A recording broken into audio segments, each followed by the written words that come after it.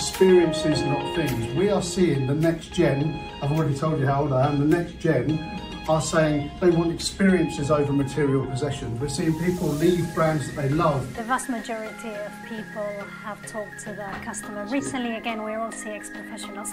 The job um, expedition, uh, expediently. Uh, that's what physical really means to me. Yeah, absolutely. Key for us. Yeah, great, thank you. And Felipe, resonate in finance? Is this, do those things sound familiar? No, no, no. no. Um, look, in finance, I think, and, and at least for the Bank of London, our, our clients are um, small businesses right up to multinational corporates, um, other banks, regulated institutions, etc. And what we believe is actually most of our, most businesses actually are like humans, are like people.